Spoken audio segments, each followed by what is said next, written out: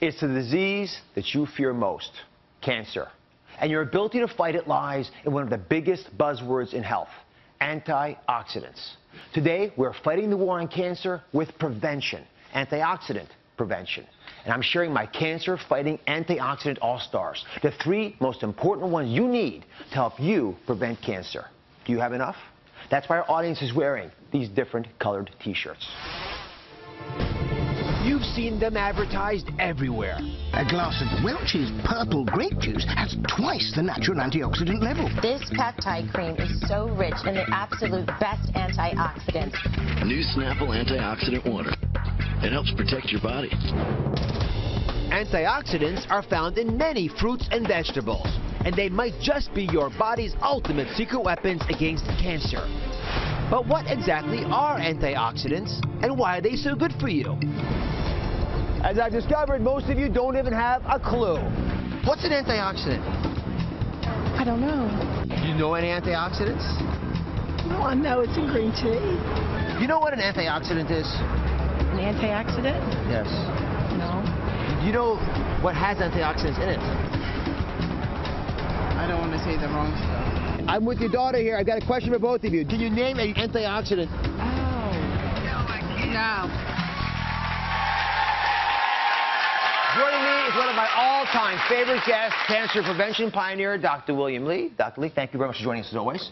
Talking about antioxidants and how they prevent cancer. Well, antioxidants are natural protective molecules that Mother Nature has laced into a large number of foods. Hmm. And there are literally thousands of different types of antioxidants, but they all do pretty much the same thing.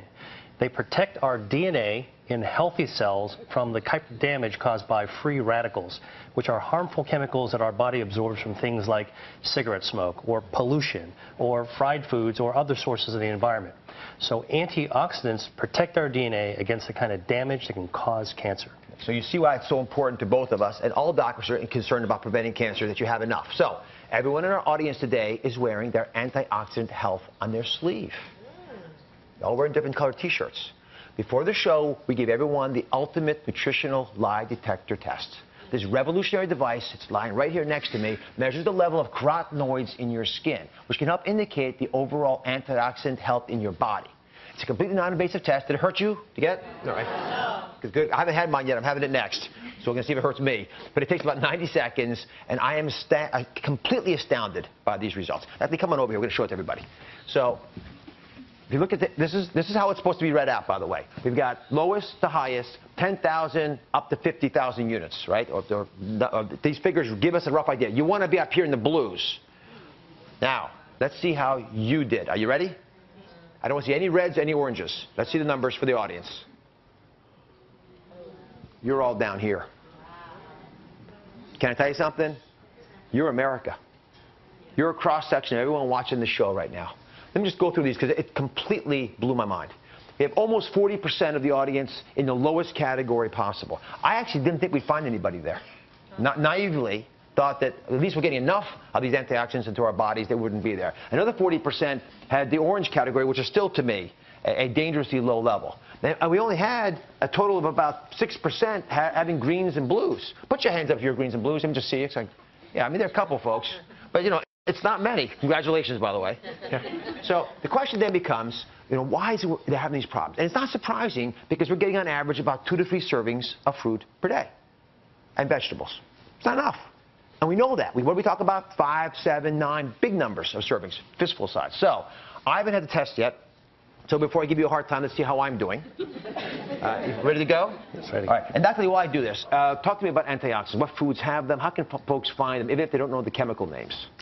Well, you can certainly get antioxidants in pill form, but the very best way of actually getting antioxidants is in the foods that we eat.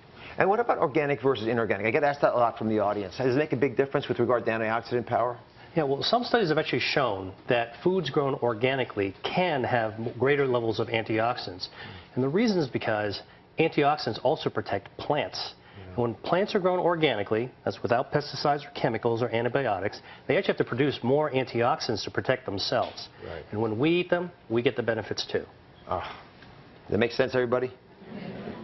All right, let's see how I'm doing here. Uh-oh. 75,000. Now, listen. No, no, no. I,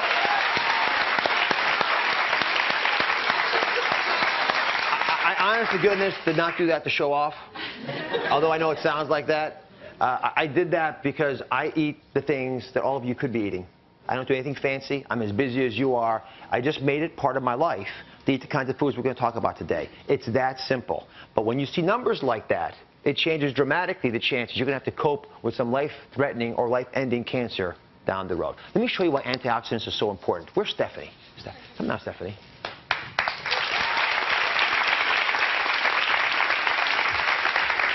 Isn't Stephanie wonderful?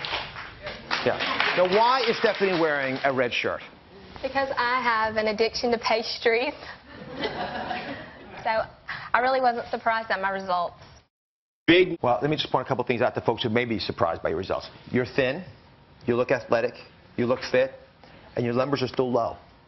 Your numbers weren't just low, they were among the lowest we found in the entire audience of 200 some people here. So it's a dangerously low number.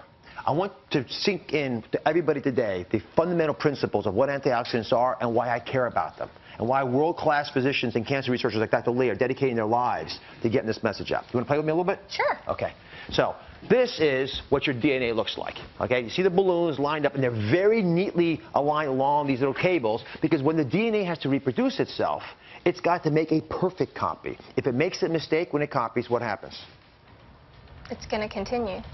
And it'll make And- mistakes and, yeah. that are propagated, right? It's like you're giving your kids a bad habit. They're going to take it to their kids. Right. So you make bad habits in DNA, and they turn into rogue sociopathic cells, which we call cancer. Mm-hmm. All right, so you get to be a free radical. Okay. Okay? So I want you to take your free radical power and I want you to, to knock off these balloons. I want you to show what it, what it can do to DNA when the DNA is not protected and free radicals can attack it. Go ahead. Whack away. And one more. And what happens? It begins to get very, very unstable. Now, if I don't hold it, it's going to collapse. Now, what ends up happening when you lose all of this power mm-hmm. is that you begin to make the errors I'm speaking about. Then, the body has to develop a technique to protect it. It's called an antioxidant. So I'm going to be the antioxidant now. And my job is to prevent you from knocking off the remaining pieces of this. Right. Right? Otherwise, the whole thing collapses and we're done. You're going to have oxidation. You're going to have stress in your life. The kids are going to get you tired. You're going to have issues at work. That's going to happen. You're going to eat foods that aren't always perfect for you. I'm okay with that. But you got to have the antioxidant back up to come in there and defend you. So go ahead, knock, knock, try to take it away. There. Go on, one more time. Try to get at it. She's hard. All right? You can't get there, right? nervous. Just take, take, take it back up there. Try to get it. Right.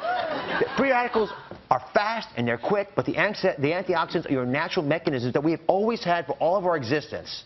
Every human being ever created has had antioxidants that can protect us from the world around us. That's why this is so critical. All right, now let's come over here. Now, let's talk about three cancer-fighting antioxidant all-stars. You want to hear about these? All right, the first are carotenoids. Sounds like carrots, right? Carotenoids are incredibly powerful, uh, and they work in very unique ways. Dr. Li, please explain. So carotenoids are special antioxidants that actually give fruits and vegetables their color, their red, yellow, and orange colors. And uh, there are actually more than 600 different types of carotenoids. And uh, we think of them as all-stars because carotenoids actually prevent the formation of the free radicals in the first place. And the other reason is that many carotenoids, like many antioxidants, are also anti-angiogenic, which means that they starve cancers by preventing blood vessels from growing up to feed the cancers. Hmm. No blood vessels, no cancer. So the ones that you might often hear about are the common ones like lycopene or beta-carotene. Mm-hmm.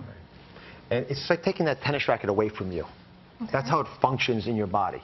So, you know, it gets you even one step earlier. So, uh, we talked about carrots, yellow squash. Have you ever heard of persimmon? Yes, I have. You tasted it all? You know what it mm. tastes like? No, I don't. You interested in trying it out? Sure. All right. Let's see if we can bump you out of the lowest group here. I want you, all, all the other reds to be careful. She's going to catch up to you now, Stephanie. She's going to take you out. It's not bad. Not bad? Talk to me about these and how much you have to have to have a benefit. Yeah, so studies have actually shown that, for example, for uh, yellow squash, eating a cup and a half per week helps prevent lung cancer. And for carrots, eating uh, about a cup per day helps prevent kidney cancer. And for persimmons, two fruits a day helps protect against stomach cancer. What do you think about that? I mean, you can't beat it. Yeah, you should take, take us back with you. Thanks. Thank you very much, A New York souvenir. Thank you. Thank you very much.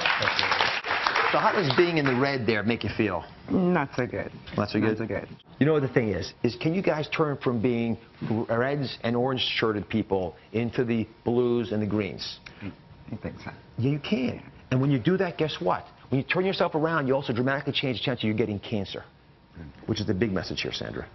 Fair enough? Mm-hmm. Fair enough. right. When we come back, we're unlocking the secrets to getting the most cancer-fighting antioxidants from your food. Stay with us. I'm back with cancer prevention pioneer, Dr. William Li, and we're about to unlock the secrets to getting the most cancer-fighting antioxidants into your diet. Here to help us, Dora. Welcome, Dora. Thank you. So how did that make you feel? Thank you. How do you feel about having that red shirt? And how- who'd you come with, by the way? Where'd you... I came Oh, actually, with my family, and um, yeah, they, Yeah, they beat, beat you. Now, and why there's always this competition, and I lost again. Did you feel badly And about I'm the eldest. You're the oldest, though. Yes, yes. But do they eat better than you? They're wearing yellows and oranges No, there. they don't eat better than me. Today.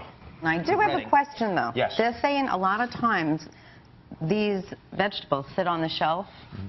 And they lose a lot of. You're better off buying like the flash frozen. That's a good question. You're absolutely right. When you get fresh uh, vegetables that are frozen at the site, and then you buy them frozen weeks later and save them even for a few months, so Yeah, it's a very smart way, and it's affordable for everybody. Okay. So the next time you actually order salsa, get the guacamole as well. I, I eat avocados and tomatoes and salsa every day. Then why are you red? I don't know. I think it was maybe a faulty test. Yeah. But you know, Uh, no, no, no, I'm, I'm going to tell you why. I, I, I, can I tell you why you're red?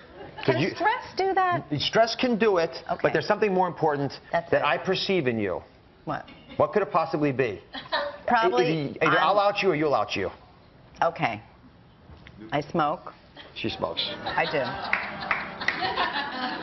You do smoke, and I love you for who you are, and I'm not giving you a hard time about it right now, but that's why your antioxidant levels are